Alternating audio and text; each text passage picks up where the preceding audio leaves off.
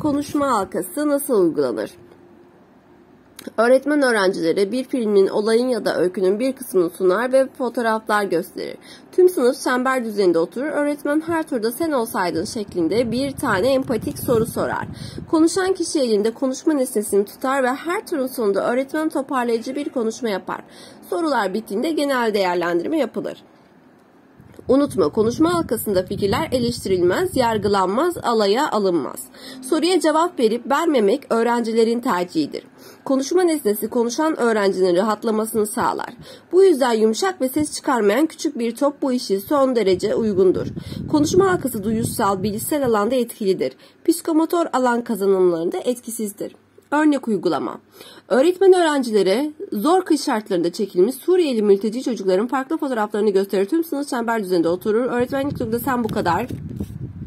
Soğukta sokakta yaşamak zorunda kalsan ne hissederdin diye sorar. Diğer turda benzer empatik sorular yöneltir. Konuşan kişi elinde konuşma nesnesini sorar. Öğretmen her tur sonunda gerekli açıklamalar yapar. Sorular bittiğinde Suriyeli mülteciler hakkında genel bir değerlendirme yapılır. Görüş geliştirme, diğer bir ismi serbest kürsü. Nasıl uygulanır? Birinci tur. Üzerinde insanların farklı düşüncelerine sahip olduğu konu öğrencilere açıklanır. Sınıfın duvarlarına tutum panoları asılır. Beşli skala. Öğrenciler benimsediği görüşü yansıtan panonun önünde sıralanır. Sırayla her öğrenci neden bu görüşü benimsediğini açıklar. İkinci tur. Açıklamalardan sonra görüşü değişen öğrenciler varsa benimsedikleri yeni görüşü yansıtan panonun önüne geçer. Görüşü değiştiren öğrenciler bu değişimin nedenleri açıklar ve alkışlanır. Genel değerlendirme değerlendirme yapılır ama karar alınmaz. Unutma görüş geliştirme uygulamasının sonunda konuyla ilgili karar alınmaz. Amaç değişime açıklıktır. Görüş geliştirmede öğrenciler yeni tutumlar ve fikirler kazanır. Demokrasi anlayışı gelişir. Görüş geliştirme fikirler eleştirilmez, yargılanmaz, alaya alınmaz. Görüş geliştirme duyusal ve bilsel alanda etkilidir. Psikomotor alan kazanımlarda etkisizdir. Örnek uygulama.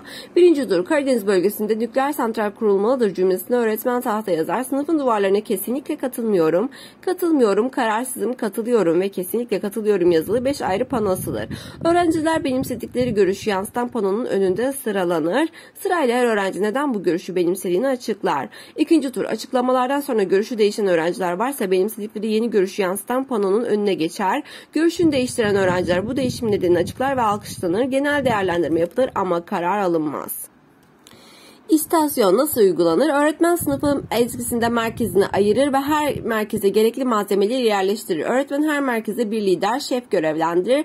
Öğretmen öğrencilerden etkinlik merkezi sayısı kadar heterojen gruplar oluşturur. Her grup bir etkinlik merkeze gider ve burada kişi başladı. Verilen süreler dahilinde tüm gruplar bütün etkinlik merkezlerinde dönüşümlü olarak çalışır. Böylece tüm gruplar başlanmış işe katkı sağlamış olur. Her grup ilk başladığı etkinlik merkezine dönüp başlattığı işi tamamlar. Ortaya çıkan ürünler değerlendirilir. Unutma istasyon öğrencileri öğrencilerin bir işi başlatma, başlanmış işe katkı sağlama ve bu bir işi tamamlama becerileri kazandırır. İstasyon öğrencilerin özel yeteneklerin ortaya çıkmasını ve gelişmesini sağlar. İstasyon çekingen öğrencilerin sürece daha rahat katılmasını sağlar. İstasyon öğrencilerin çoklu zeka alanlarını geliştirir, liderlik becerileri kazandırır, işbirliğine dayalı öğrenmeyi destekler. İstasyon tekniğinde sınıfın dersini fiziksel yapısına göre 2-8 etkinlik merkezine ayırır. İstasyon bilimsel, e, bilişsel, duyusal ve devinsel olarak etkilidir. Örnek uygulama. Öğretmen ormanların katledilmesini önleme konusuna yönelik olarak sınıfı senaryo yazma, şarkı sözü yazma, besteleme, afiş, yazı, afiş tasarlama ve fil, film fragmanı çekme merkezlerine ayırır ve gerekli malzemeleri merkezlere yerleştirir. Öğretmen her merkeze bir lider, şef görevlendirir. Öğretmen öğrencilerden etkinlik merkezi sayısı kadar heterojen gruplar oluşturur. Her grup bir etkinlik merkezine gider ve buradaki işi başlatır. Örneğin birinci grup senaryo yazma merkezine gidip ormanların katledilmesini önleme konusuna e, yönelik senaryo yazma işini başlatır. Verilen süreler dahil dahilinde tüm gruplar bütün etkinlik merkezine dönüşümlü olarak çalışır. Böylece tüm gruplar başlanmış bir işe katkı sağlamış olur. Her grup ilk başlama İlk başladığı etkinlik merkezine dönüp başlattığı işi tamamlar. Böylece ormanların katledilmesini önleme konusuna yönelik olarak ortaya bir film senaryosu, film müziği, film afişi ve film fragmanı çıkmış olur. Ortaya çıkan ürünler değerlendirilir. Mikro öğretim nasıl uygulanır? Ee, öğretim aşaması mikro ders planlanır, ders işlenir, ders hakkında dönüt alınır. Ee, yeniden öğret aşaması mikro ders dönütler ışığında yeniden planlanır, ders yeniden işlenir, yeniden ders hakkında dönüt alınır. Ee, unutma mikro öğretimde öğret yeniden öğret döngüsü kullanılır. Mikro öğretim genellikle öğretim adaylarının mesleki becerilerini uygulamalı olarak kazandırmak için kullanılır. Amaç yansıtıcı, öğre, e, yansıtıcı öğretmen yetiştirmektir. Mikro öğretim ders süreleri kısa e, öğrenci mevcudu azdır. Öğretmen ve öğrenci konumundaki hepsi öğretmen adayıdır. Mikro öğretimde dönütler video kayıt sistemiyle alınır. Mikro öğretimde tam olarak gerçek bir sınıf atmosferi oluşturmaz. Öğretmen adaylarını gerçek sınıf deneyimlerini hazır, hazırlar. Örnek uygulama, öğret aşaması, öğretmen adayı verilen kazanım doğrultusunda mikro dersi 10-20 dakikada işleyecek şekilde planlar. Öğretmen adayı mikro dersi 10-15 kişiden oluşan sınıfa öğrencilerle öğretmen adaylarından oluşan işler hmm, Mikro ders hakkında dönüt alınır. Yeniden öğret aşaması. Öğretmen adayı ilk uygulamada aldığı dönütler ışığında mikro ders yeniden planlar. Mikro ders yeniden işlenir. Mikro ders hakkında yeniden dönüt alınır. Beyin fırtınası nasıl uygulanır? Öğretmen problem durumunu açıklar. Öğrenciler kısa bir süre e, verir. Öğrenciler kısa sürede ürettikleri fikirleri söyler ve kağıda yazarak öğretmene verir. Tüm fikirler tahtaya yazılır. Fikirler sınıfta değerlendirilir. Çözüm için kullanacak fikir ya da fikirler belirlenir. Ee, evet. Burada sıfır eleştiri vardır, çok fikir vardır ve kısa süre vardır beyin fırtınasında. Unutma beyin fırtınasında nicellik önemlidir. Çünkü konuyla ilgili ne kadar çok fikir üretilirse o kadar iyidir. Çok sayıda fikir arasından en iyi veya en iyilerini seçmek daha kolaydır. Önce nicellik sonra nitelik. Unutma beyin fırtınasında hiçbir fikir saçma olarak kabul edilmez, alay alınmaz, düzeltilmez. Beyin fırtınası fikir üretilmesini, fikirlerin birleştirilmesini ve geliştirilmesini sağlar. Beyin fırtınası duyusal ve bilişsel alanda etkilidir psikomotor e, alan kazanımlarında etkisizdir. Beyin fırtınası e, az süre çok fikir hiç eleştiri demektir.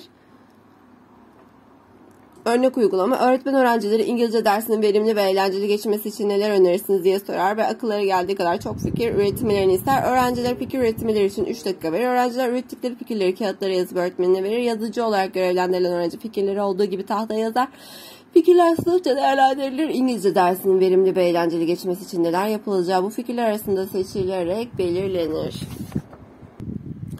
Güç analizi, SWOT analizi nasıl uygulanır? Problem durumu öğrencilere verilir. Öğrenciler problemin çözümünü destekleyen faktörlerle çözümü engelleyen faktörleri analiz eder. Öğrenciler çözümü destekleyen faktörleri geliştirecek ve engelleyen faktörleri ortadan kaldıracak eylem planı hazırlar. Genel değerlendirme yapılır. Güç analizi geleceğe yönelik bir eylem planıdır. Örnek uygulama öğretmen üniversiteye giriş sınavı için güçlü ve güçsüz yanlarınızı belirleyiniz önermesini öğrencilere verir. Öğrenciler güçlü güçsüz yanlarını belirler. Öğrenciler güçsüz yanlarını iyileştirici ve güçlü yanlarını daha da geliştirici eylem planı hazırlar. Hazırlanan planlar değerlendirilir. Görüşme nasıl uygulanır? Uygulanır. Görüşme konusu ve yeri belirlenir. Görüşme gerçekleştirecek öğrenci grubu belirlenir. Görüşme soruları hazırlanır. Görüşme ekibi bilginin kaynağına giderek uzmanlarla röportaj yapar. Görüşme ekibi elde ettikleri izlenimi sınıfta paylaşır. Genel değerlendirme yapılır.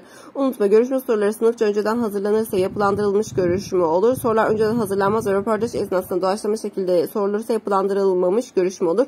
Örnek uygulamada verilen yapılandırılmış görüşmedir. Örnek uygulama öğretmen aile hekimliği konusunda semt polikliniğine görüşme yapılacağını açıklar. Görüşme yapacak iki alt öğrenci belirler. Görüşme e, soruları sınıfça hazırlanır. Görüşme hekimi semt poliklinine gidip oradaki iki farklı aile hekimiyle görüşür. Görüşme ekibi elde ettiği izlenimleri sınıflara paylaşır. Genel değerlendirme yapılır. Bu videomuz bu kadar olsun.